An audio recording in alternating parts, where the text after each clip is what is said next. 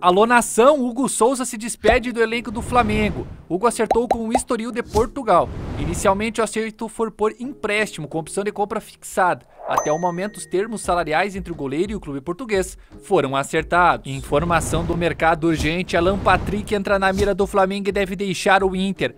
O meia Alan Patrick, que atua no Internacional, pode estar pintando no Flamengo. O jogador pertence ao clube gaúcho e teve seu futebol oferecido ao Flamengo que aprovou sua contratação. O Inter deseja diminuir sua folha salarial e Alan Patrick deve ser negociado. Assim, a negociação pode caminhar bem. Com a camisa do clube do Inter, Alan Patrick soma 9 gols e 8 assistências em 61 jogos. O Meia já atuou pelo Flamengo entre 2015 e 2016 e soma 58 jogos pelo mais querido.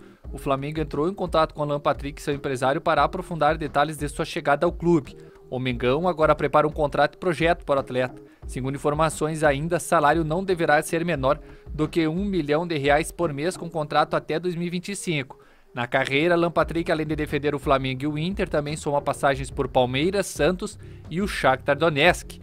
E aí, nação rubro-negra, você aprova a contratação do Alan Patrick? É um bom reforço? Já deixa a sua opinião aqui nos comentários. No mais, eu te agradeço pela audiência, eu vou ficando por aqui.